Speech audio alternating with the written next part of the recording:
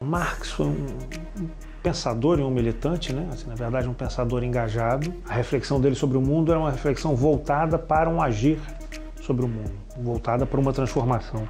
A contribuição dele é uma contribuição vasta, assim, em, diversos campos. Marx é qualquer coisa menos um autor monotemático.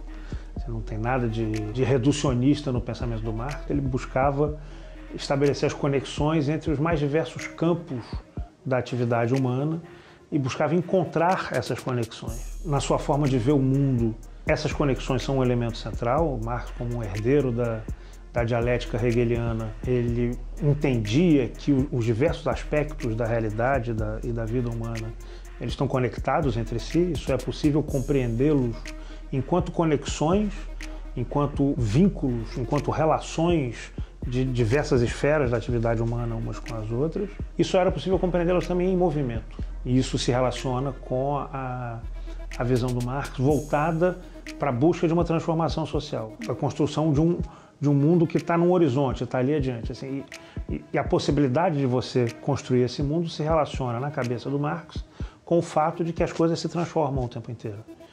Só é possível compreender a realidade enquanto transformação. Mas o processo que move as transformações, ele é um processo que se dá na esfera material, na esfera da relação concreta entre as classes sociais.